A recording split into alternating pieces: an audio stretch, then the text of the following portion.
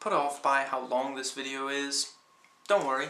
I tend to jam-pack my videos with as much content, as many details as I possibly can, and I try to talk pretty fast. So while the video is a bit on the long side, I don't repeat myself, and I get into a lot of details about the subject that, you know, pretty much anything that I feel I can comment on and that I think you might find interesting.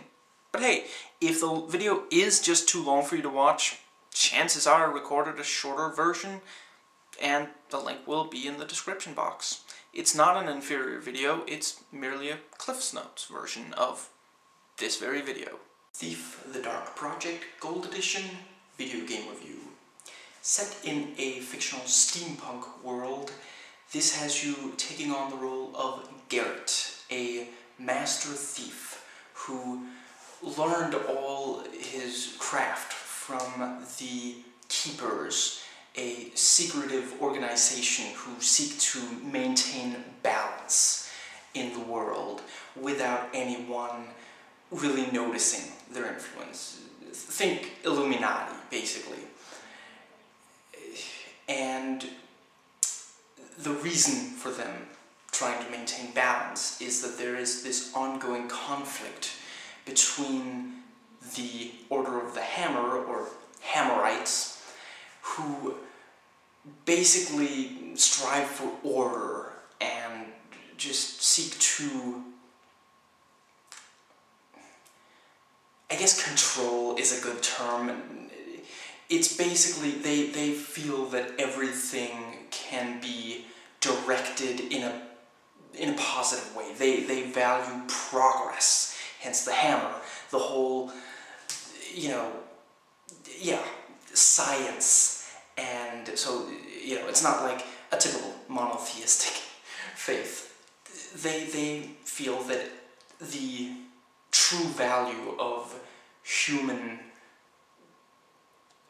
yeah they, they they feel that the value of human ingenuity is the greatest strength and on the other side the pagans who where the hammers represent order the pagans represent chaos they are basically the, the mercilessness and unpredictability of nature is what they,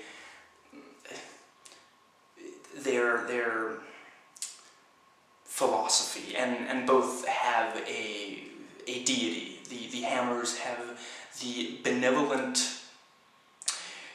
so, sort of father figure god, the, the builder who, who, who gave the, the gift of the hammer and chisel onto man.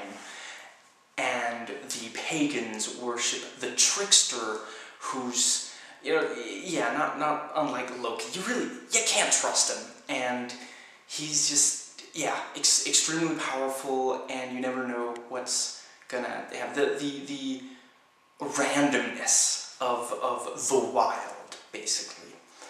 Now, this is a really clever basic... I should really finish off the plot before I get into too much into other stuff. So basically, yeah, you're, you're, you're not working for the Keepers.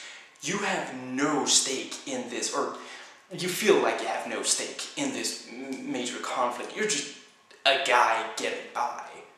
You, you know, you're a thief. You're, you're not the hero, you're not the villain. You're just a guy making his way through. So it's, it's quite interesting in that choice of, of protagonist. And, and Garrett, by the way, is awesome. He is just constantly snarky. He's... The, the second level, the, not a spoiler, don't worry, has you breaking out your fence. And it's not any kind of...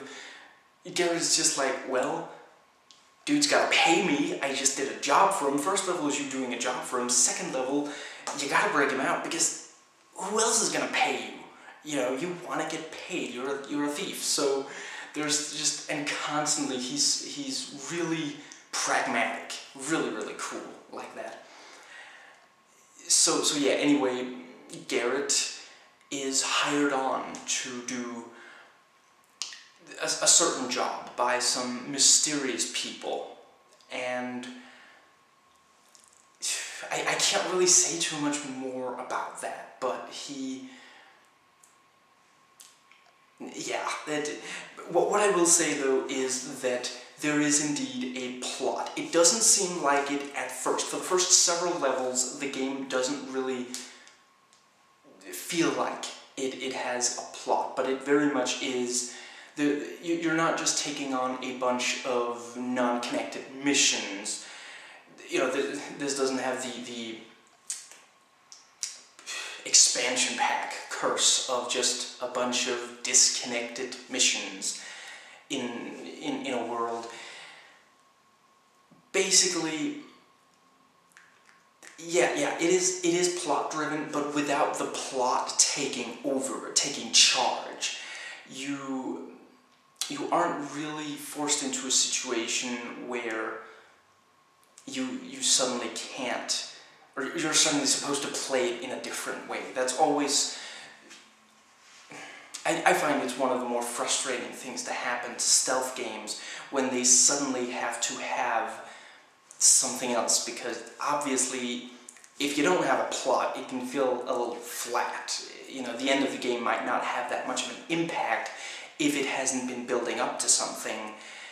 But at the same time, stealth it is about sneaking and that's less of an active role. So, you know, you have a lot of stealth games that end with just, there at the end, you just gotta fight suddenly. And depending on how much you've been penalized for fighting earlier on, this is, for example, a big problem in the Hitman series. Depending on how much you've been penalized for fighting earlier on, it's gonna be especially, you're just, you're gonna have to learn from, you know, completely learn from the bottom up how to fight. So yeah, this does very much have a plot and everything is, everything's connected. But it doesn't take charge and it's, it's, it's a, good story. You, you get into it and yeah, it, it, the, the first several levels, however, before the plot really takes off, are basically developing the world that you're in. And that's when you find out about the hammers, the, the pagans, and basically how everything works in this world. And that does bring nicely into the, the, the clever nature of this conflict. Because this is this is a very, very clever game. They've, they've really applied themselves with this one. You can tell it's, it's Looking Glass Studios, who also helped make System Shock 2. It's really well crafted. Everything makes sense. Basically, the you know, Garrett is just in the middle of this conflict. He's not even like I, I, mentioned before that the keepers are in the middle. He's not even that in the middle. He's like he's outside of even the middle. Basically, you just have this conflict between these two different interpretations of what different philosophical leanings, and the player is not forced to fight for or against these basically you're, you're not made to make any any value judgments. You can make up your own mind about them. And really it's the, the you know the, the more you look at both of them there is clearly good and bad to both. The, the you know science is a fantastic thing but at the same time if it's science to the, you know, if, if there is no kind of ethical barrier, if, if you just keep going with progress, you know, you have things like pollution and the like, and at the same time, on the other, you know, on the other hand, nature is, you know, we have to, yeah, again, pollution, we have to be careful not to ruin nature, but if you, you know, that science can really improve people's lives, and, and certainty is an important factor of a, a healthy psyche, really. You know, childhood development is for one thing, but also just adulthood. You know, when, when you look at how people behave when they feel that the people in power are fair and just versus if they are constantly just afraid of them and they feel that they're corrupt. And so, so you can't have completely random and loose like that either. And yeah, it's, it's a very well set up conflict. And it's, yeah, and, and again, you know, System Shock 2 also has a really ingenious conflict. I'm not gonna uh, obsess over System Shock 2 in this review, don't worry. I already did a video doing so. At least one. So anyway, other really well crafted things. I should really preface the following by saying this is a highly influential game, and that's why people are still playing it today. I, I literally, I got it on Steam, you know, on a sale, and I can totally see why people would actually, you know, still be selling it, still be buying it. It you can still see the impact this game has had. And th this was one of the first really all-out stealth games, and one of the really one of the ones that really didn't kind of take any kind of what do you say? Yeah, it, it took no prisoners. It just went straight for stealth and has thus, you know, and, and with the, the first person perspective and, and the, the, the control of only one character and such, it has, you know, the, this is the reason that games like, that, that franchises like Hitman and Splinter Cell exist. And it also, you know, it, it came out around the same time as the, the original Commando, so, you know, and it actually is yeah, the, the, the challenge level in the two, it's been a while since I played Commandos, but they're fairly equal in, in challenge level. Anyway, the... There are so many things. I guess I, I'll start with the how you use the stealth. Basically, this was, I believe, the first game to employ sound and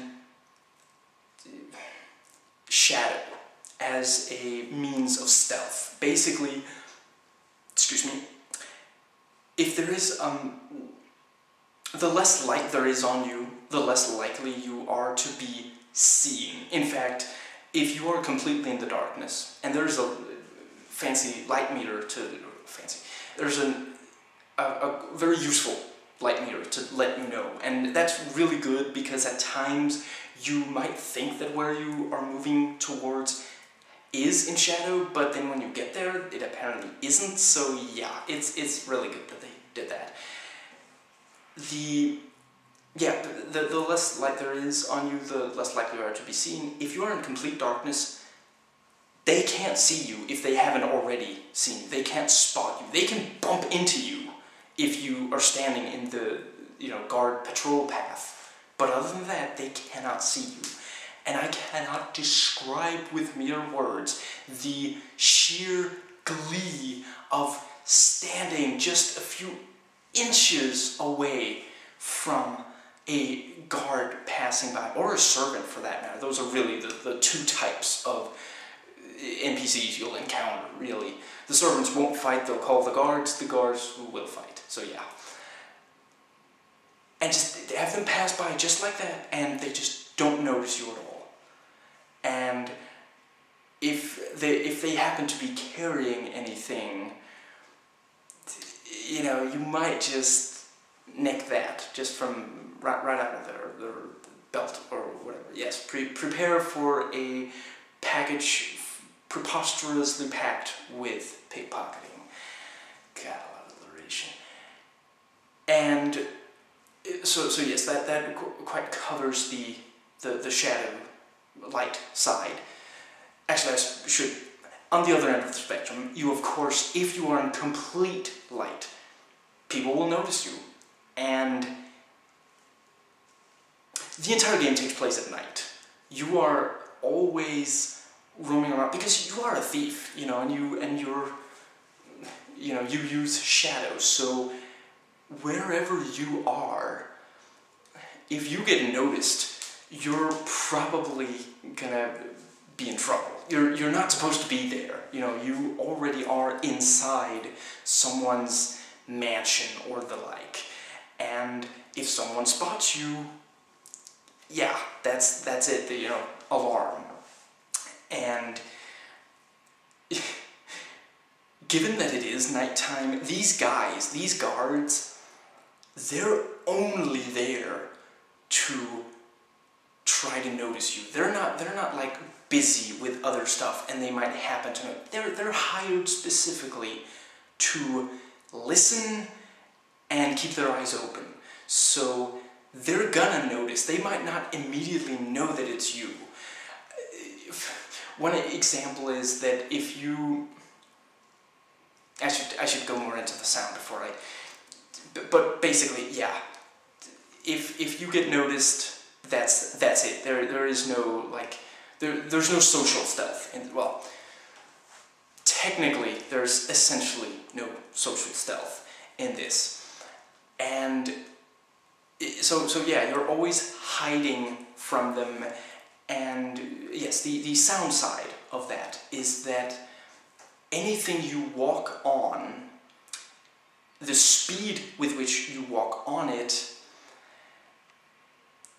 and the, the distance between you and the guard who might hear, or guards, determines how likely you are to get heard.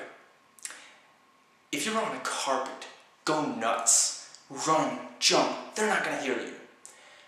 Wood might creak, you know, it'll, it'll give a little bit, they'll hear that, and they know that there's not supposed to be anyone.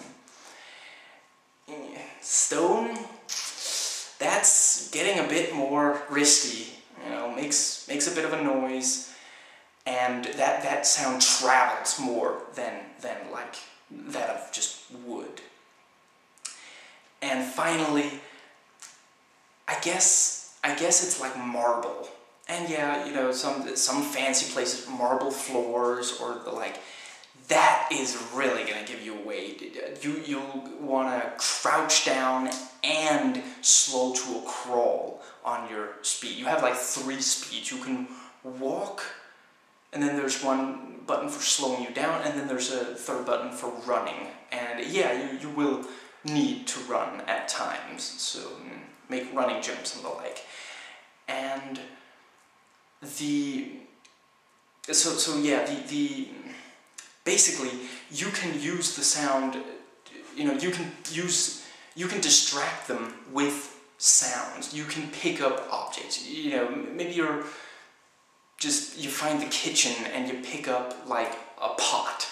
Throw that onto some stone or something. That's to make a noise you know? And, and there again you have if you however throw it on like the carpet they're not to notice that at all, pretty much.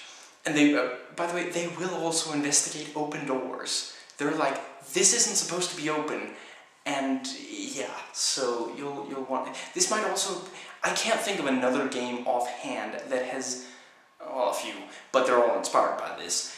That literally had me take care to open the door facing away from me, not the door facing towards me when I was opening, opening a set of you know double doors whilst sneaking because literally if I open the one that opens towards me that lets out you know there there's a light source and so yeah I get noticed but if I open the one that opens away from me nothing really gets it's a little difficult to explain without the visual. What I'm saying is, this game is tense like you wouldn't believe, and it really makes you apply yourself. I should also say, if you if you aren't patient And if you don't love stuff with a passion, do not apply. Simply, and that's, I don't mean that as an insult. I myself don't have the most amount of patience, but it's, it's not the game for you, and it was never meant to be. This is for the people who just love to sneak great distances, and I will admit, at times the sneaking gets a little repetitive. But I will, it, it's it's incredible how much that doesn't happen though. You, you would think that it would happen way more. And it's a lot because of how clever this setup of the, the, sight, the, the light and the sound and then the tools you get to use, which I will get into detail with. However, part of the genius of the the, the amount of light and, and sound and this is something that I don't, that I, I haven't seen all games use. That, that's one thing that, you know, that, that I haven't seen all games inspired by this use. In fact, fairly few of them. And that's why this game still, it hasn't particularly been top. Now, keep in mind, I've only played the first one for now, but I understand why people are still playing this. It's not just, it's not nostalgia. It's not, oh, I want to see where all this cool stuff came from. No, there's real reason. It's like with Prince of Persia from 89. It's not just the fact that it inspired these, you know, this completely new direction. It's actually a really great game. One thing that, yeah, the, the, the sheer genius of the, of using light and shadow, light and sound, is that you and the NPCs use it to detect each other. You don't have uh, one of these fancy radars or you know maps that show enemies or the like in this game. You have maps, I'll get more into that. So when you're trying to avoid being spotted by one of these once again, very aware guards, and you want to know if you can move through this hallway or if you should stay in this little room that you've hid in well. Listen for sounds of, because you can hear their footsteps and you can see them from distance. And again, the more light there is, some enemies are actually hidden in quite a lot of darkness. It's, it's more the sound that lets you know where they are. But again, it's, it's a fantastic idea because you are not only, you know, you, you want to avoid them, so you listen for them. And they're, of course, you know, they, they don't think about not making noises because they're not trying to hide from anyone. And literally, you know, I already mentioned that, you know, patrolling guards will make noises from what they're walking on, which also means that if they happen to be walking on a carpet, you might not hear them. So you're always so aware of your surroundings and let's let's contrast for example the the like I said carpet wood all this stuff how much noise that makes with these big boxes that just scream, please hide a body in me in you know, Hitman Blood Money. They do a better job of making these seem organic in Absolution. In Blood Money, it's just, it's extremely clear that what, what they're used for and you, you wonder like, is there really a human body-sized box in this particular area, you know, and in this, that never happens. You're never like, would they really have a fancy long carpet in the hallway of a mansion? Yeah, they would.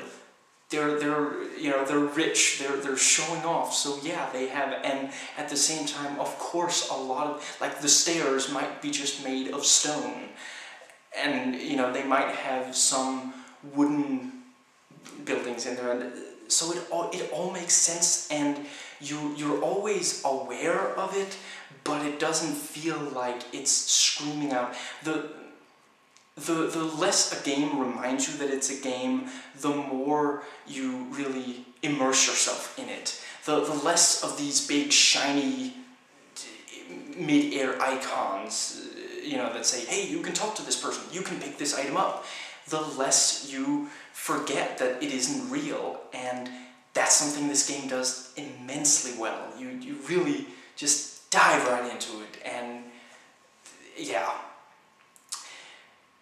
Now, the, the basic setup is that you're always, you always have to sneak into somewhere. You're always like just on the very outskirts of like a mansion or like I mentioned, a prison.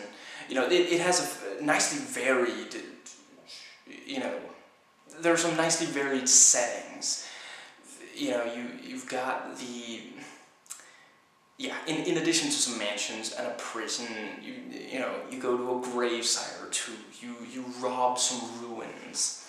And admittedly, at times, this does get somewhat Tomb Raider-y with, with traps and, yeah, you know, ancient ruins and such.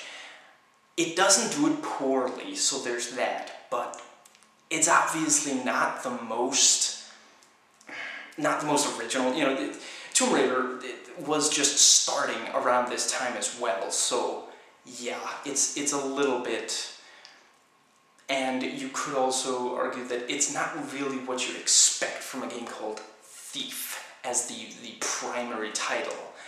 And I would also say this one does get a bit lost in the supernatural aspects with less just, you know, sneaking around and, you know, stealing from big mansions and the like. I am told that the second one fixes that, so, yeah. Now, the... Yes, you, you get into where you have to go you find and steal something specific, and sometimes it's not stealing, sometimes it, it can be other things, and then you get back out safely, preferably without having been noticed.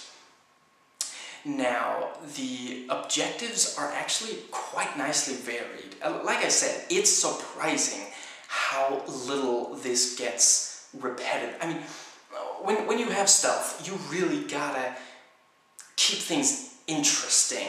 You'll, you'll want to make sure that it's, it's again, it's not a very active part. If, if you, if you're playing an action game, you're running around gunning people down, or you're, you know, blowing stuff up, that's fun. That keeps being fun for a long time. That's, that's not really going to run out of, because you're, you're taking a very active part in a, a very, in a very clear conflict, and that's, that's easy to get into. But sneaking around, stealing, it can be fun, but you wouldn't think it would be able to last.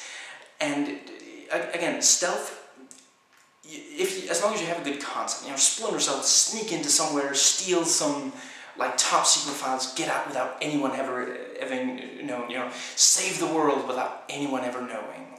You know, Hitman, go kill this person without anyone noticing, you know, blow up his car, snipe him from a hundred yards away. But a thief, so they're, they, they were very, very smart with thinking up some really nice different objectives. Again, like I already mentioned somewhat, the second level literally has you breaking into a prison, you know, waving high to crap, the, the Wentworth Miller on the way in and breaking out someone. You know, you're not, you know, stealing something fancy. You're literally breaking into a prison to get someone else out. And that's, and, and the game just grabs you like that. It, it really just, yeah, they, they, it's, it's always sneaking, but it's, it can be some very varied things you're, you're supposed to do. I refuse to give more examples because of, of that because it is just too good to spoil. And in fact, in general, the game really subverts your expectations a lot of times. I've already I've already spoiled as much of that as I'm going to. The the fact that it gets quite supernatural in spite of the whole thief thing and the yeah, suddenly breaking out someone from, from prison. It just you you never know where the game's gonna go, and there are a few times where this doesn't work out perfectly, but usually you really you just run with it. The game never really has you just stopping and going, well, what the heck now? It's always just yeah, you you you run with it. It's it's really yeah. I I if if someone if if you're going to be playing this, do not read about like the plot in detail. Do not get into in, I just don't let anyone spoil it for you. Just go into it and yeah, if in fact if anyone actually tells you everything that there is in this game, you probably won't even believe them. You'll you'll have to play for yourself and then afterwards be like, wow, that was in there. How did they fit that in there? They and somehow it just all makes sense. It's it's really impressive. They they there is a wealth of creative ideas in this game that just all fit within this steampunk world that they've created. There, there is some magic, there is some 19th century technology. The hammers, they literally do manufacture hammers. Yeah, among other things, you know, and, and you can actually go and, and you, in the prison, you come by some of these machines and you can craft a hammer if you want, you know, and you, you can pick it up and throw it as a, you know, to create a noise distraction. Yeah, the game is incredibly interactive. That's another thing that really... Yeah, th this is one of the first games where the world was truly alive, where just things are happening. You know, you, you pass through this factory on the way to the prison in that second level. And yeah, you know, you, you don't have to do anything. You don't have to, you know, interact with these machines or do anything about the people running these machines. You can just sit there and watch and literally the NPC will produce a hammer, you know, and, and go and set up the machine, produce another hammer, and, and just and, and you too can go and produce the hammer. You can turn on the alarm if you want in some areas, if, you know, if there's like an alarm button. And you can also very clearly tell, you know, okay, I should keep them away from that because that's the alarm, you know. It, it feels very organic. And some of the enemies actually feel so alive that I literally felt bad about eh, killing them. The there, there's this animal that you come across that it, if you if you when you kill it, if you choose to kill it, basically you're not really supposed to kill anyone human, but there are other things. and yeah, I'll, I'll get more into that. But if, if you choose to kill it, you'll hear this just horrifying death scream. And they will, and it'll literally try to flee if it gets hurt. And any enemy in this will try to flee if they're, you know, hurt. And yeah, it, you, you really get a sense of them being alive. In fact, some some of the NPCs, if they're from different like factions or the like, if they're not allies, they might fight. I, I literally, I, there was this level where I was supposed to get into a, yeah, I was supposed to break into somewhere, and the place I was breaking into wasn't exactly legal. Now, there was a patrolling guard, like a like an actual policeman, you know, the actual authorities, just walking around on the outside. So I waited for him to be a little wait, and I had to pick the lock. I'll get more into that. And the moment I had picked the lock, someone from inside the house saw that the door was open. He didn't see me, he just saw the door opening. And I heard him react so very quickly. Actually, I think I accidentally missed mentioning that. Guards that are just standing still, they don't like hum or clear their throat, mumble to themselves. You know, some guards also carry on conversations, and if you listen to these, you learn more about the world. There'll always also be documents that you can read that'll tell you about the world, and cutscenes. But anyway, yeah. So the he noticed. So I very quickly hid in the shadows, very very silently, and literally. The guy from inside the house ran out and killed the patrolling guard because he couldn't see me. He just saw an open door and there was the guard. And so they they started, you know, fighting and he managed to kill the guard. And that's literally you know, the, the enemy AI pieced together, well, somebody did this. I see that guy, so he must be the one. And yeah, you know, it makes sense because he's not, you know, he's a bit of an unsavory type, this person in the house. So yeah, it,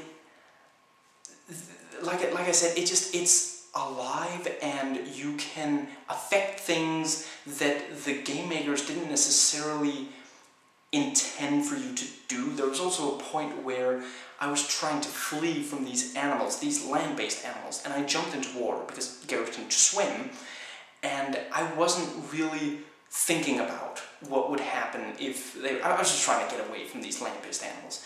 They kept running, so they came into the water with me, and I was trying to swim away from them, and then I noticed after like 30 seconds that they weren't following me. So I turn around and I see that they've drowned. So literally, it's not that water means death to these land animals, because that's not, you know, it's not poisonous. You know, if Garrett can swim in it, it's, yeah. But they can't breathe underwater, and they couldn't swim like Garrett could. So they couldn't, like I, just swam up to the surface and got more air. So when they ran out of air, they drowned. And this wasn't like how I was supposed to kill these. It was just, you know, I was almost just playing around, you know, just I didn't really feel like turning around to fight them. I wanted to run, and so, yeah, that's what happened. And to, to flesh that out more, the game has a proper physics engine. Now, it's not flawless, but just think about that for a second, that, that in, in games today, we take for granted these you know, proper physics, this is actually one of the first games that literally put that in there. You know, if, if you pick something, like, like I said, if you throw something, it will make the noise that it will, that, you know, that it should. You can use, you know, you, you have specialized arrows, yeah, you're basically a Hawkeye. You can use water arrows, for serious, to turn out you know, if, if like, if a torch is the light source or a fireplace, you can put out that fire and create more shadow. And, you know, you can also do this without, yeah, you, you can, I think you can pretty much turn out any fire you come across in the game. And, you know, I, I read that you can also set fire to wooden items and the like. I honestly couldn't get that to work, but um, but but yeah, you literally you know do what you want. It's it's an open world, and that brings me back to how the basically the game doesn't really force you to do much of anything. You have specific objectives. You, you have to get in, you have to steal something, you have to get back out. You know, you, you, you can't die and then still win, obviously. But, you know, on, on the higher difficulty settings, some of the levels also say, you know, don't kill anyone. That's, in fact, briefly on the difficulty settings, there's basically three difficulty settings, and the more, the, the higher the difficulty setting, the more objectives you'll have to accomplish, and thus the tougher it'll be. And in addition to that, it's also just highly replayable because you literally you can approach it in, in very much the way you want to. You're, you're given certain tools and you choose how to solve the different, you know, getting in somewhere and stealing something and then getting out safely, does that mean sneaking past everyone, never getting seen, never, you know, yeah, not not really leaving any trace, not not knocking anyone out, for example, not killing anyone. It could, or you can. You're you're kind of gonna have to Rambo First Blood it somewhat. You know, use guerrilla tactics. Take them.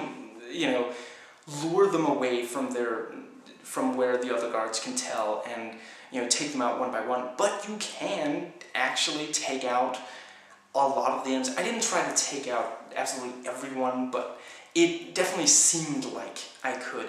You know, in the first Hitman game, you you aren't allowed to kill very many, you know, very many people other than your targets. And in that game it makes sense. You're a hitman, they expect you to be precise. You're a, you're a surgeon, you're not an explosive device.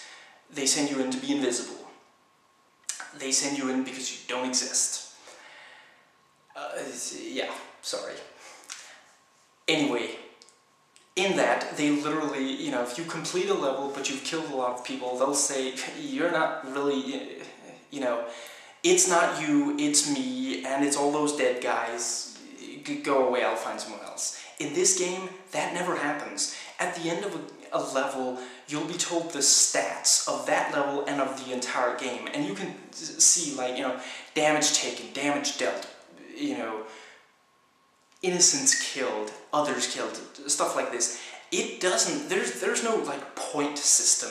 There's no penalty to, to killing. Again, as long as it doesn't counter your objectives.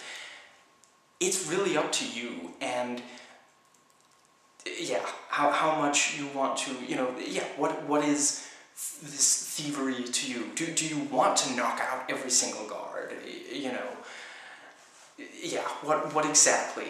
How, how exactly do you want to approach it? And basically, summing that up is that you the amount of effort you put into the game is the amount of enjoyment that you get out of the game.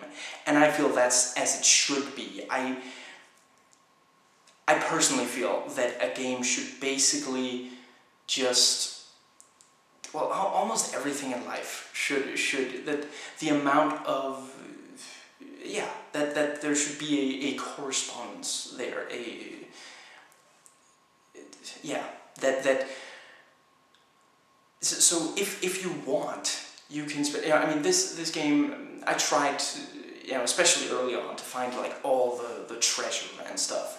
The game took me 33, 34 hours to complete, with 15 levels total, because it's gold version, it includes three other levels, otherwise it's just mm, 12, and 13 in-game hours, and 34 real-life hours. And if you want, you could probably do it a lot faster. You could probably also do it slower. It, it really depends on how much you want to immerse yourself. And also, like I said, the world is alive. It's at night, but that doesn't mean that nothing else at all is going on other than these patrolling guards. You, you might come across other things going on, and yeah, it's, it's just, it's, it's interesting how, because they clearly put effort into every single little detail and everywhere you can, you can see the, how, how this world is. You know, there, there's, uh, like, I already mentioned the, the you know, tricksters, the, the, basically the, the pagan god, and he's this, you know, unpredictable kind of. There's there's a line that you know one of the servant NPCs in the game tells another servant NPC like you know if if you you know if you happen to be in this place you know that, that they have to run away really fast if you know if someone sounds like they're angry something like that. And he literally says run as if the trickster was chasing you. And it's just it's this completely is this tiny detail that you might not even really notice or think about. But it, yeah, it, it just, it shows how they, they just everywhere you have this this this world that they've created and that they clearly put a ton of thought into. It, it makes sense. There's there's nothing in this world that feels like it shouldn't be there, no matter how insane it might seem when you first see it. And I literally mean that as with the subverting expectations. Anyway, the so yeah, you, you approach it how you want. You know, do you want all the treasure? The treasure is going to be what you use to buy more equipment for, you know, future missions with. So if you want a lot of equipment, you're going to have to get treasure, and the treasure is not necessarily an objective. Sometimes you're told to get at least so and so much, but yeah, how, how much do you want to be able to buy for the next mission? And you know, and, and yeah, if, if you don't really care about buying equipment for the next mission, then sure, just go, you know, try to find the, the exact objective as quickly as possible, get it, and get back out. Now, I should talk some about the quickly interject that you can save and load at any point in this game. There's no kind of limitation on that. And you can always, if you, every mission is preceded by a briefing video which has Garrett narrate basically how he expects it to go or what the what the nature of the you know am I going into a mansion? Am I going into a prison? What am I doing here? What can I expect basically? You can you know, when, when you get to the shop, you there, there's literally a button that says re, replay briefing or something like that. And yeah, you know, you'll be like, well, am I to need this equipment? Well, let's just get the briefing again. And you can always restart any of the missions, and when you restart, you again get that briefing. So if you, you know, if you forgot something, you can always just save where you are, press restart, get the mission briefing again, and load your progress again. So yeah. Now, the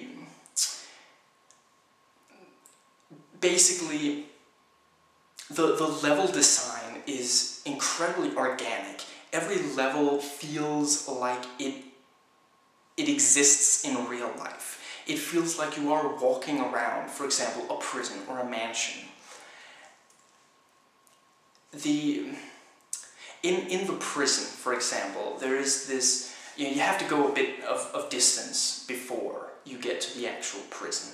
And it's basically like, it's a building, but it's not just on the outside. It's, it's kind of, you know, think, think fortress, you know. Slightly less Christopher Lambert, though. Eh, basically, it's, it's somewhat underground, and on the way there, you know, you, you might pass this, there's, there's some, some water. And once I got into the prison itself, there was literally this place that, uh, again, had some water. And I could tell, you know, it ended in a waterfall. So I jumped in, let myself be taken by the stream, went down the waterfall. And none of this hurt me or anything. And when I got down there, I looked around and I realized this is that patch of water where I was earlier. Now, fortunately, I had saved so I could just load, but literally, it didn't hurt me. It might just force me to sneak some more, but literally, you know, I, I was in that patch early, and I looked at the water, I saw the waterfall, and then later I could actually come down that waterfall. Every area of every level is connected you know how you, you might be um, playing a video game and you're going around the level and you like look up and you're like, wow, that, you know, they're 30 feet in the air. There's this long hallway. It, it would be pretty cool if I could walk on the inside of that, you know, or, or you're in a castle and you look down and there's like, you know, there, there's a bridge and there's some water and like, wow, I, I, it would, it would be pretty cool to just dive right in and swim, you know, see if that leads anywhere interesting. And in this game you can. You, you, it, it might not always be so easy and so direct, but you can almost always go kind of everywhere. I, I, I don't think there was ever an area where I looked and I was like, that might be fun to, to go there at some point, and I couldn't some way get there. You know, it might take a while, might not have a completely direct path, but yeah, and, and so again, it's up to the player. Do you want to go for the direct path? Keeping in mind that the direct path, you know, the guards aren't stupid. They know where to stand. They know where it, where there is a direct path. So they're going to be blocking that path, especially. Or do you want to find this more out of the way and sneak for, you know, go go a longer distance, but maybe encounter fewer guards? You know, you always have this choice. And whilst it can be very, you know, it, it can be very, very difficult if you don't play it sneaky, I would say. Because you're really not, you're a thief, you're not a guard. You know, the, the people you're up against, they've got armor. They, they were trained with their swords. You're kind of, you, you got a sword, but you're not a fighter.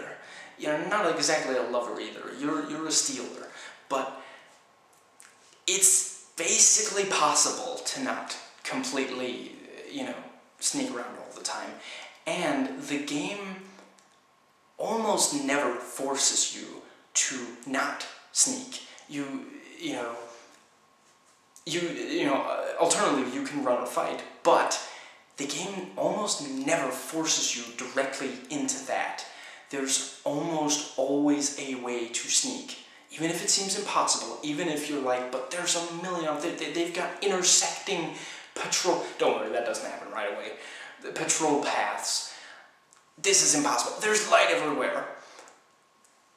If, if you really apply yourself, and again, if yeah, if, if you really apply yourself, you'll really get that enjoyment out of it.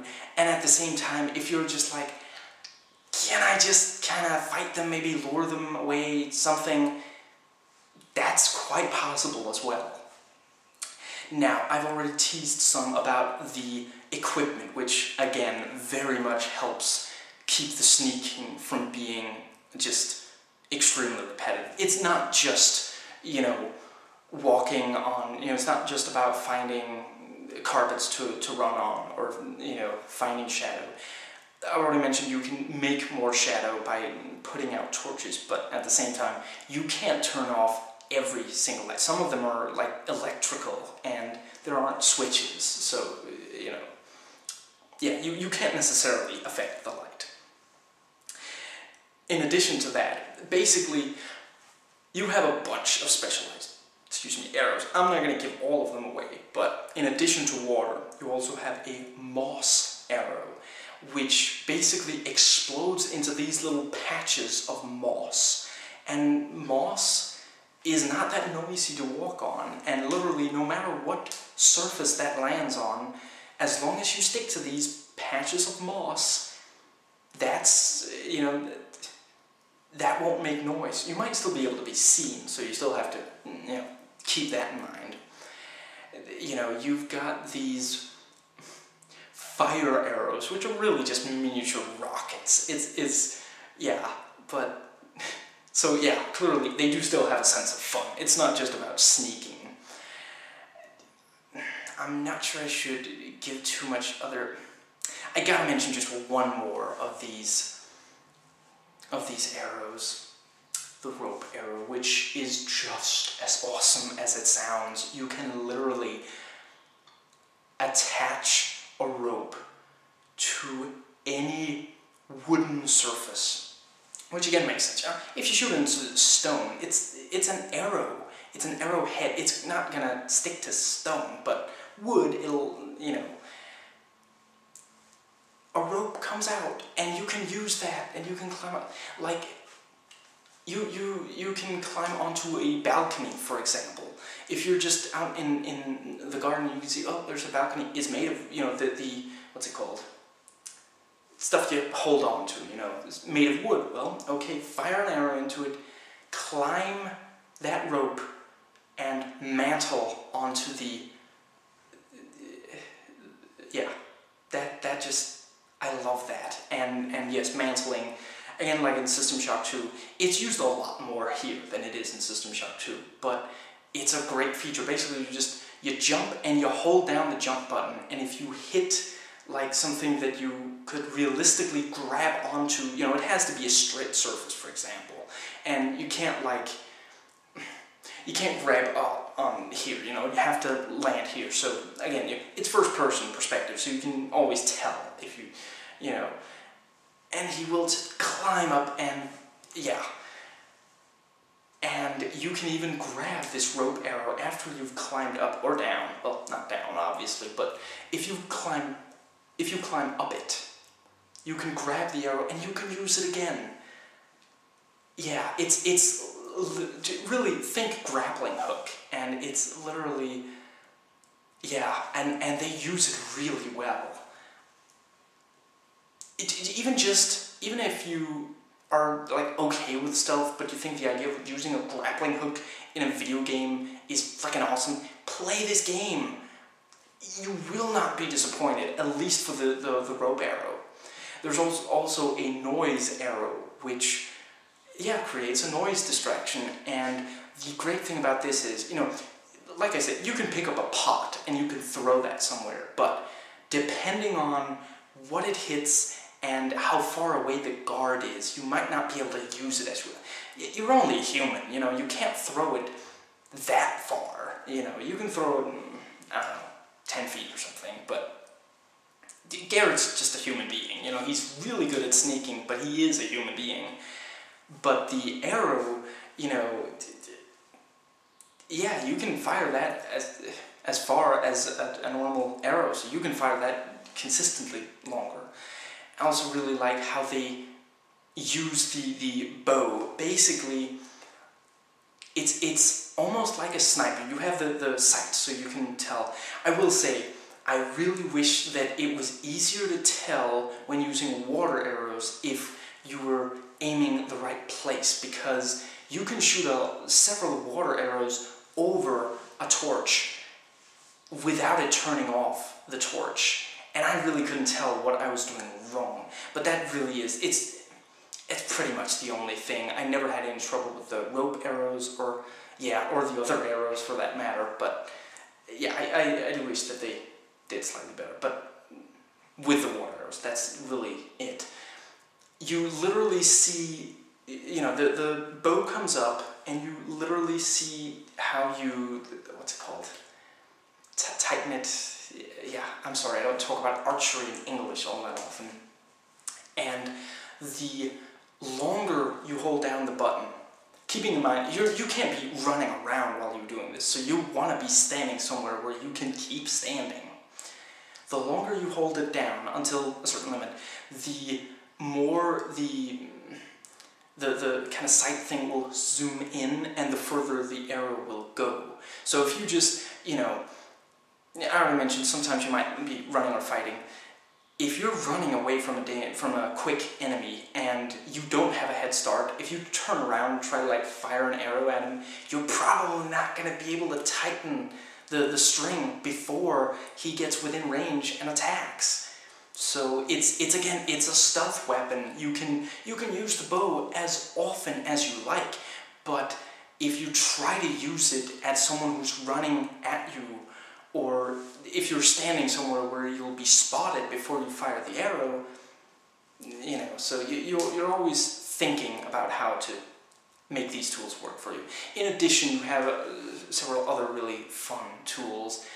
You have your typical, the, the potions, you know, you, you've got a health potion, you've got a breath potion, which I think is really just a little, you know, little bit of extra air. It's for when you're swimming and if you can't get to a pocket of air in time, so yeah.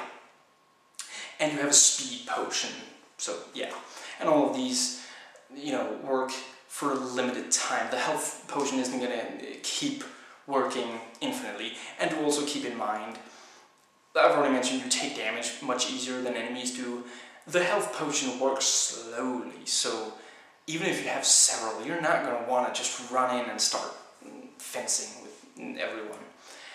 you also have these mines, which, yeah, proximity mines speak for themselves, and these flashbangs, which also, yeah, speak for themselves. And again, you know, think about the, one of the first proper stealth games, one of the first proper, I will sneak past everyone and no one will notice me, and it already had a flashbang. It's just, yeah. And the earlier alluded to lock picks. Now, lock picking has been done in a lot of stealth games. This is one of the more simplistic ways, but it's also a great way to do it. A lot of things in this game are very just, you know, pick it up and play. You, you don't have to learn a bunch of stuff. You can, you know, do you know how to control a character in a first-person shooter-y interface? Well, you can play this game, basically. You know, you, you fire the bow the same way you fire a normal weapon in one of those, and yeah, you, you can strafe, you can crouch, you can jump. There's not a lot to learn, which again makes it really fun and immersive. You're, you're not spending a lot of, you know, the game opens with this very short training, sequence. very short. It's it's it's of an adequate length. It's not terribly long, and yeah, you you learn you learn about the the light and you learn about the sound, and then it teaches you a little about you know you you get some archery training because that does take some getting used to, and you know they teach you about rope climbing, which also is you know I will also say sometimes the rope bugs out a little bit. There there are a few bugs and glitches in this game, but nothing really big but but yeah, the ropes can sometimes make sure you save if you gotta make like a really daring attempt at escape using you know rope because sometimes it won't grab on properly or something. Yeah, I, it's difficult to explain, but if you've played it, you know, unless it's just the, the yeah the version I played, I don't know exactly, but anyway. Yeah, the you, you just, you, you get right into it. it. It's challenging, but it's not challenging because you're spending the first several hours of gameplay just trying to learn how to do things. Because that's always the most boring part of a game. You want to get into it. You want to get good at it, and you want to have fun with it. And here, literally, lockpicking, there are two lockpicks. One of them is and and yeah, and and sometimes you, you know, yeah, I think it's triangle and square. Yeah, if if you use the triangle, if you have to use the triangle, you won't be able to use the square right then and there, and vice versa. And sometimes you might have to switch back and forth between them, and using them literally you just you go over to the door you select your memory and you hold down the right mouse button which is always your use button and yeah you can hear him you know, pick the lock, you can see the, the little, what's it called, handle moving. If, you, if the sound stop and the handle stops moving, that means you can no longer pick this. If it never stop, starts, then it's because you can't pick that lock, you need a key. And if, yeah, if it stops, switch to the other lock pick and then keep going. And sometimes you gotta switch back and forth several times. Now this is, like I said, it's very easy to get into. Anyone can do this. But you might be you know, you might be forced to stand in light where you know there are patrolling guards, so you have to time it right. Or, you know, there, there are various different ways they make this more tense. And, and again, keep in mind, an open door might attract a guard's attention. You know, so, and, and the door opens automatically once you pick the lock completely, so yeah. And yeah, that's that's the that's the essence of the lock picking and no matter how far you get in picking the lock, you can always start right there. Like I mentioned, patrolling guards, you're in the light, suddenly you are aware they're too close. Okay, so you, you know, stop lock picking, hide in the shadows, wait for, you know, 30 seconds for the guards to pass completely. Go back. You don't have to start over like you do in most more recent lockpicking mechanisms in stealth games. Here you just, you continue from where you got to. And the locks in general, I already mentioned how it's so, the world is alive. If you pick up a key, there was one point where I picked up a key, I, I pickpocketed a key from a guard, and he moved, he, he kind of ran into it, or that was, it, at times the, there, you know, these slightly awkward AI bugs. Uh, you know, folks also can't climb ladders, so they'll just be standing there like, uh, and yeah. And in general, there are a couple of places where they maybe can't follow you, and so they just kind of stand there. Yeah, but yeah, he literally, he just, he couldn't figure out the door, so I snuck over and I unlocked the door, and he passed through it. And then I could literally, you can also lock a door if you want, and, and someone, you know, say, say you, you, you have to get into somewhere specific and you need a key. Open the door with the key, you know, unlock it, close the door, and then lock the door again. You can make noise in there. If a guard comes by who doesn't have the key to that door, he won't be able to unlock it. So it, it literally is this just amazing, yeah, they, they really did incredibly well. I, I should also mention, I don't remember if I mentioned the, yeah, the physics engine isn't perfect. If you, for example, throw a noise-making item like into an enemy or something, it might just go through him or something. You know, it won't like hurt him and he might not even notice it, especially if it doesn't make noise, so not perfect, but yeah. And I suppose that more or less covers the equipment aspect. It brings me nicely into just the, the user interface in general. This is one of these, you know, first-person perspective things where, you know, you gotta use something. Again, like I said, you don't really want the big, you know, glowy thing above it to, to let you know when you can use something that's, you know, distracting. In this game, you know, where System Shock 2, for example, has a, you know, sort of, yes, an, an, an indicator, and that's because the, the, the in-game HUD is literally the, the computer that they put in the player character's brain, you know, goggles. Yeah, he has no name, and that's what people call him. Yeah, so in that it makes sense, but here, you know, you don't have anything like that, so basically you, you have to have something in the center of the screen and it'll, it'll brighten slightly. And that means you can use it. And you know this doesn't mean necessarily that it's you know like if you're trying to open a door that's locked it'll still get you know glowy but you just you won't be able to open the door. But that's how you interact with everything. That's also how you pick up items.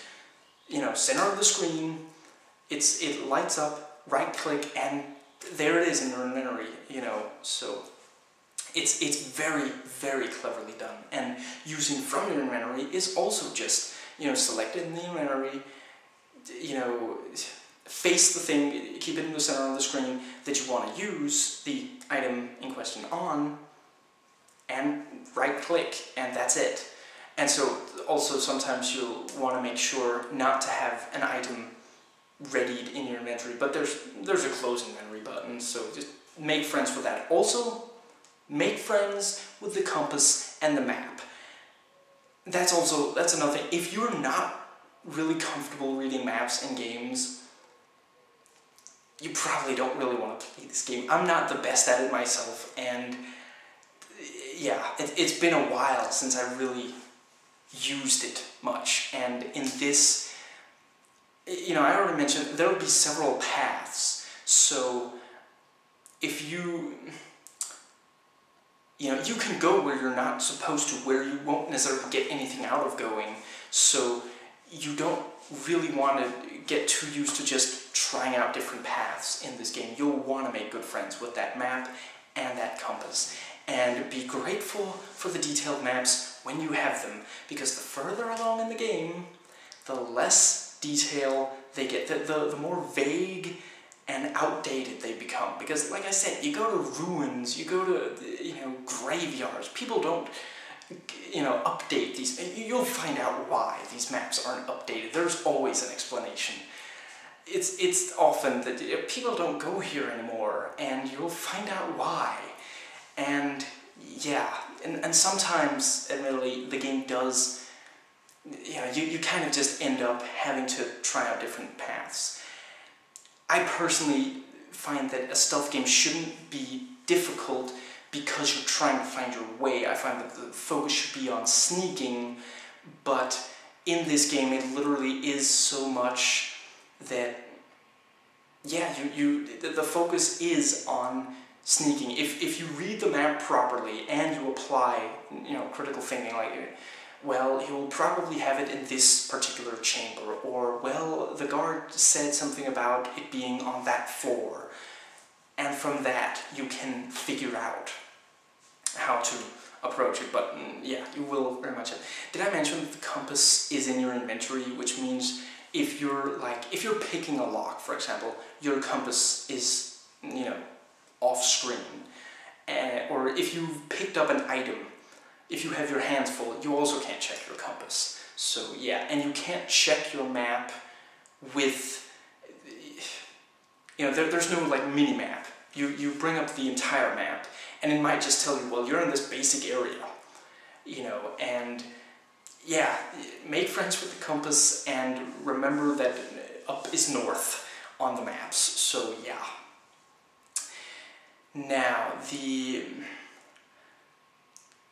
the, the game is incredibly realistic. Everything, you know, like I said, there are a few things where they didn't do it absolutely perfectly. It's perfectly forgivable for the time, as is the, the graphics, which they're, they're obviously outdated today, but I will also say they, they were okay when the game came out. They weren't really... This came out around the same time as like Half-Life this doesn't really live quite up to that. There are some very awkward, angular shapes in level design sometimes, and the and the like. But you know, uh, so so yeah, and the 3D also very much doesn't quite hold up anymore. But but yes, the for for the time, the the physics engine is really really good. Now, the, the, the game is chock full of atmosphere. There's seldom score in the actual levels. It's, it's a very quiet game full of ambient sounds. So where, you know, if you're in a garden, you'll, you'll hear like crickets. And there's, there's this one creepy bit. I just, I have to reference. You literally hear, you hear this infant crying, and, and you just, it's, it's not like you're in a hospital with the, the, the maternity ward. No, there's, there's no reason why you should be hearing this. And there's also this creepy, secretive laughter, almost mocking laughter. And it's just like, where is this coming from? There's no reason this should be here. And it just, it's just for atmosphere, and it's so effective. With some old school puzzles and having to use the map, having to apply yourself, and this atmosphere, in some ways I compare this to old school Silent Hill. It's, it's not as consistently like horrifying as Silent Hill, but it's not trying to be. This is really, this is a full world. Silent Hill is a slice of just, eh, yeah, a, a terrifying dimension that you do not want to be near. This is a, a world, like I said, it's set entirely at night, but not everything is creepy and, you know, the, the mansions are just, you know, fancy and, and nice, you know. Now, the, the voice acting of the characters, at least, is great. Garrett, especially, and, and other characters yeah, you, they're real personality and they're very memorable characters. Now, the the reason I say of the characters and not of everyone, some of the guards and innocents, you know, various, are quite good, but there is this sort of grunt guard, regular guard, who has very broad animations and his voice, he sounds like a Saturday morning cartoon henchman dog. Not like the main villain, but like, you know, I thought he was in a good. wow, that was terrible. I thought he was in a good mood. Is pretty much how it goes, and yeah, that's yeah. Basically, I think this is so you can very much tell. Like it's very clear from that voice if they're angry or if they're just bored. And with the with the broad animation, they couldn't really do much with faces. So if he's just standing around, he's just standing around. But if he hears a noise and he wants to investigate, which is also something this game introduced, which again, we take for granted in stealth games today, that enemies might not be on the warpath from the get-go, but they'll literally, you know, at first they will just, uh, you know, inspect. They will literally do like the full, yeah, I, yeah, and and you know, so, so, such, but it works. It doesn't distract, and you really do need to be able to tell from that. You know, if if the enemy you're looking at is is looking for something, or if he didn't hear the noise, or if he didn't see you step briefly into light or the like. Now, to briefly address the whole gold edition, like I said, it has three levels, and these three fit in very nicely in between the others. If you know, if I hadn't looked up which they were, I probably wouldn't have been able to guess. Now, one of them is really, really infuriatingly, frustratingly poorly done, but honestly, the other two I rather liked. If if you if there's no money to save, I'd say go with the original version. And you know, I'd, I'd say it's it's okay to at least try. But having not played the original, it would appear from researching that the original really is better. Some of the yeah, and and there's not a huge difference between yeah. Now, the the I gotta talk about the sword because this is another reason this game really deserves recognition is this is proper fencing. It's not like combos. It's like Prince of Persia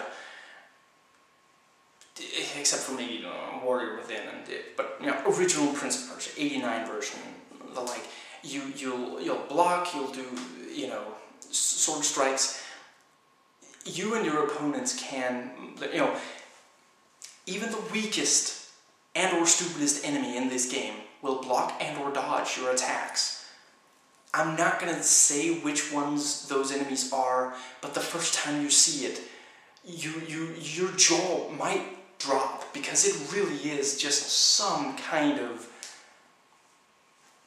mind-blowing. It's it's not something I've seen in a lot of games. But but anyway yeah. It's not that you know so, some enemies are like you know oh this this guy can take a lot you know. No enemy is like immune. It's not that BS of, you know, oh, I gotta wait for him to finish his combo, and then, oh, wait, there's, now is my window to attack, and just, you know, some are fiendishly good at blocking and then attacking, or block a lot, or attack a lot, but no one can, you know, just constantly, yeah, so, so they do that very well, and if you, you know, if you just want to run through the fencing a bunch of, you, you kind of can do that a lot. But again, keep in mind, you take a lot of damage, and you know, everyone you encounter who has any kind of fencing weapon can fence. You know, they tend to be fighters. They tend to be there to guard something. So they're, you know, it's not like, yeah, they're there to stop you. Now, I may have already mentioned you can also knock out some people. The sword will obviously kill, and the the if, if you are unnoticed when you use it, you can use just one blow to, I think it's called the backstab. It is not, there's not an actual animation of a backstab, but yeah, you can actually kill someone with just one strike, which again, makes sense. You know, if, they're not prepared, if they're not trying to avoid you hitting them, then yeah. Now, the, to knock out, however, you use the blackjack, which is basically like I don't know if it's metal. I, I think it is because you can also block with it somehow. It's basically like a, a nightstick kind of little thing, and yeah, you just you know hit them with that. Now, regardless of how many hits it might take, it will eventually knock the you know the foe out. If you haven't been noticed and you just use it, especially if you draw it back, you with with both the blackjack and the sword, you can like draw it back to do an especially hard blow, which obviously leaves you very exposed while you're you know raising it. That will take out the, the enemy with the one blow. If they've noticed you, again, it's not just gonna take the one. In fact, in that case, you might want to change the sword depending on the circumstances. Now, the I will say that the near the end, the game takes quite it, it spikes in difficulty, and I personally found it very frustrating, and I can imagine others will as well. And frankly, the game does okay at the, the climax being satisfying. The, the story conclusion is satisfying, but the actual climax, like, like I've already mentioned, thieving is not the most, act, sneaking is not the most active way to, which, again, why stealth games, you know, at times at least, opt for a more action-packed finale. And in this, it just, yeah, it's, it's not bad, and it definitely is, you know, challenging in the right way. Like, like I said, the, the, spike, once you get used to it, you can keep playing, but I still would have preferred that it didn't quite so suddenly, yeah. Now, the, I suppose that pretty much, now, I, I've already somewhat explained this, but I really should put the term emergent gameplay to it. Like I already said, you can basically you can kill your way out of a situation. You know, if the, yeah, the game doesn't penalize you if you get spotted. You know, usually there are a few times where it's directly, you know, you really cannot be spotted, and it tends to make sense. But it's not like with you know.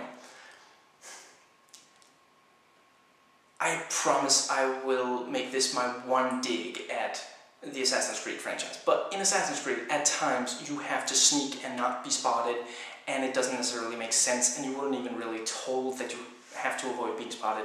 In this, it makes sense, and or again, you can you can fix it. You know, you can you can take out the guards who noticed you, and then hide them. You know, it's it's not as you know consequence free as Assassin's Creed, where it's extremely easy to fence your way out of a situation, and you can just take out everyone without any problem. If you if you have more than one guard, uh, one guard can take you out.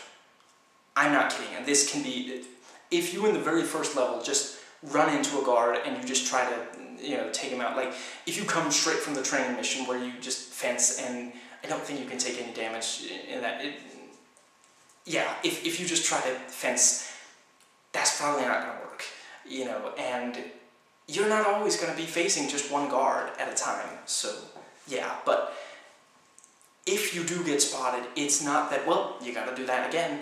No, you basically can think on your feet, you know, you can run away, you can't just rush out of the, the level if you've already gotten the item you were coming for, for example. Things like that, you know. It's largely non-scripted. There, there are these conversations you can eardrop on, you know, the, the, yeah, a, a couple of different circumstances where you can use scripted sequences like this, uh, you know, also eardropping. Sometimes the two guards who are like talking to each other, if you sit there and listen to them talk mm, until they're done, they might walk off in different directions, so you will need to wait for them to do that before you can just sneak past them both, or it'll be a lot easier. But other than that, it really is up to you. You know, how much of the level do you want to explore? It's it's the the pace and path is up to the player's individual choice.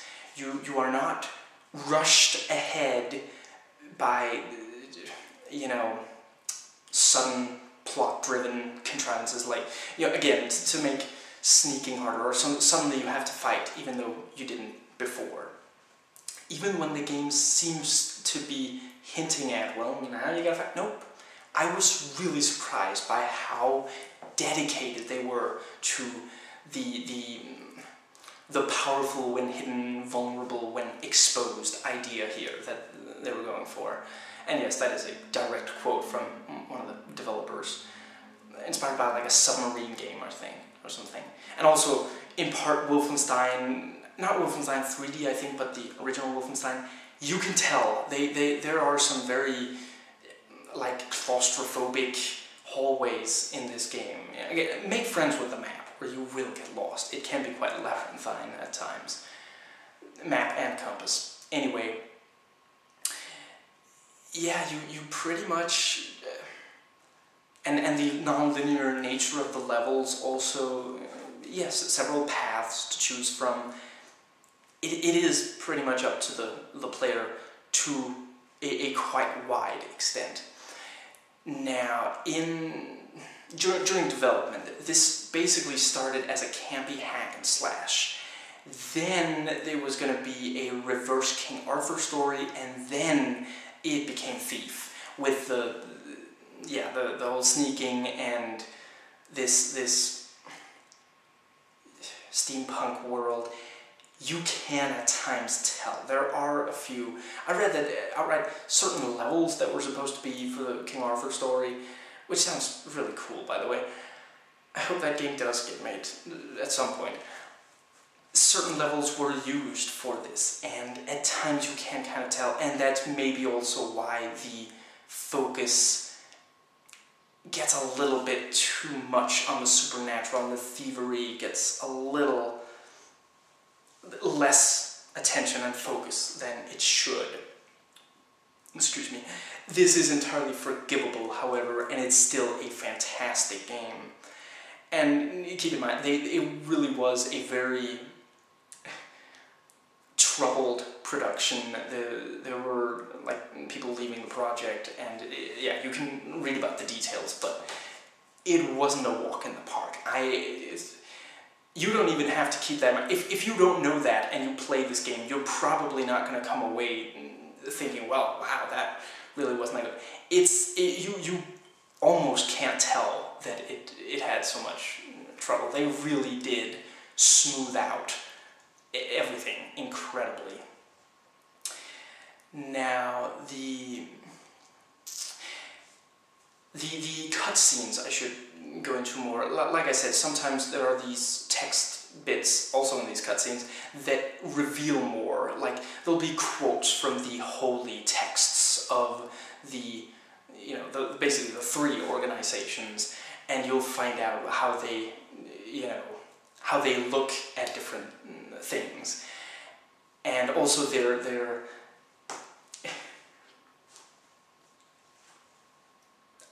yeah, but basically everything about these three factions is thought through. Like the, the animal, you know, the, the pagans, basically like the, the, what's it called, the, the structure design and the, the way they talk and yeah, how, the, how they look at, at problems is, is clearly very, you know, when, when you read from the, the Hammerites, these very devout uh, kind of, you know, there's a lot of hath and thou and hast and such.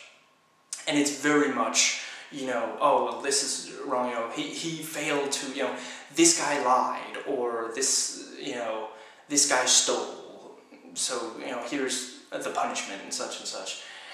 The, the pagans have really loose language, like very, very disordered language, like their grammar and the, the, the they, I, they, they add like C to the, like the, instead of wood, it, eh, wood or woods, it's woodsy and yeah, just it's you you can really tell which of the three you are reading. Now, but but yes, the these cutscenes. So they have they'll have this quote. There'll be some briefing stuff about the actual mission where you're told where you're going, what exactly you're getting, what you can expect. You know who is in charge of this. Like when when I break the guy out of the prison in the second level, it's you know it's the Hammers who took him because you know, he's a fence. That's illegal. So yeah, it's that's what's to be expected there, you know. And if you're going into a mansion, obviously it's just regular guards. So yeah. But but anyway, other than that, you these cutscenes also help tell the story. And like I already mentioned, this is one of the only places the game has actual score, and the score is fantastic. I think there's also some, if you're fighting or you're running, sometimes it'll go into fast-paced music, but but yeah, other than that, it's it's almost all ambient sounds.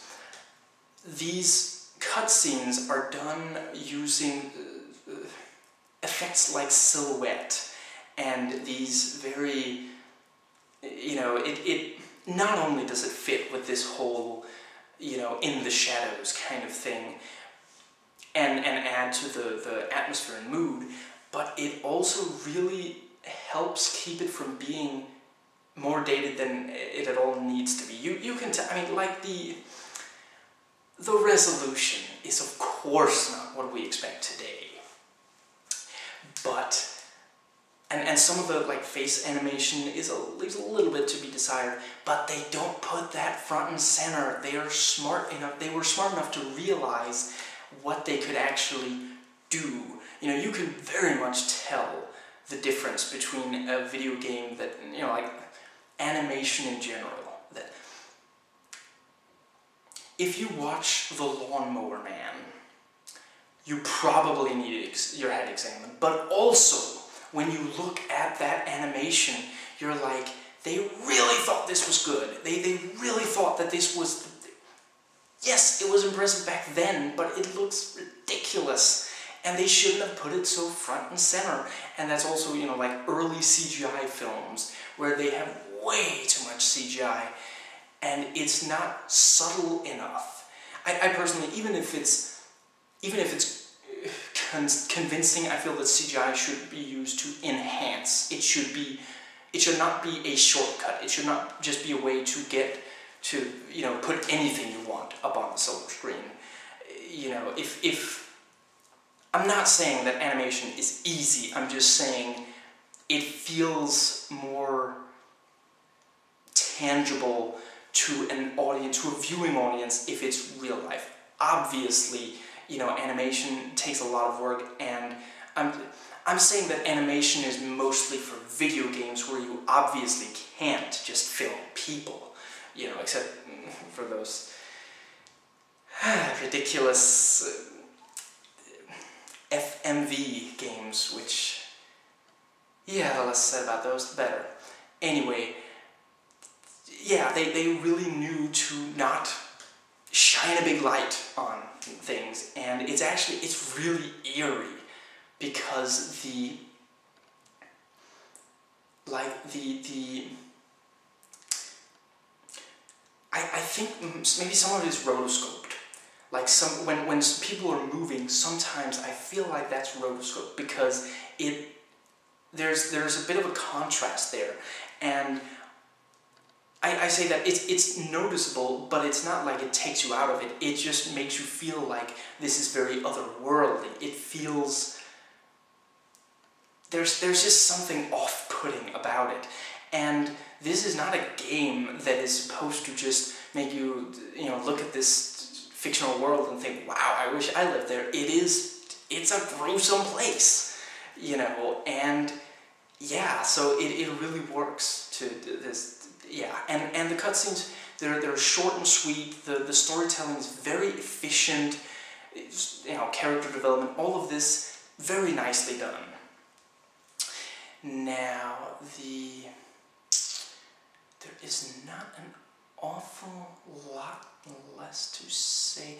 I suppose, in addition to being organic and all the areas connecting, some of the levels also get rather vast. So you really, like I said, if you want to explore, you can just go nuts. Just look at every single little, you know, area throughout this world and you, you really will feel just the, the level of detail that they put in. Now, most of your foes in this are humanoid. That doesn't necessarily mean that they are not capable of being creepy, and I, I I'll pretty much leave that there. And uh, yeah.